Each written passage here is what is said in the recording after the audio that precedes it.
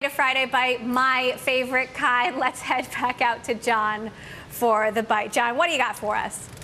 I have $16 million, the amount of money Corey won at the casino last night, which is why he's not here today. No, this is $16 million, the price that Mark Pincus, the CEO of Zynga, has reportedly paid for his new home in the Pacific Heights section of San Francisco.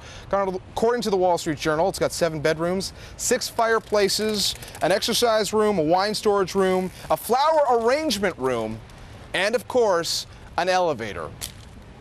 Wow. You know, it's really interesting, John, that, you know, the, the news of his new home breaks in the same few days as, as, as he's being accused of insider trading for selling shares at $12 when they ended up down at 2 before the last earnings report.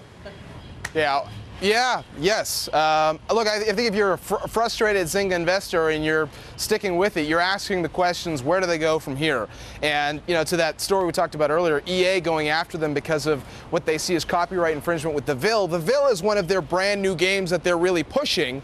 And with Zynga, it's a story of how many new games they can get out there to get the kind of love, especially from Facebook, which to a certain extent is distancing itself from Zynga, not favoring the older games as much. So that's one of the big issues. I think I could get a mortgage on that uh, on that elevator. I would have to check with my banker. That's about all I could get a mortgage on.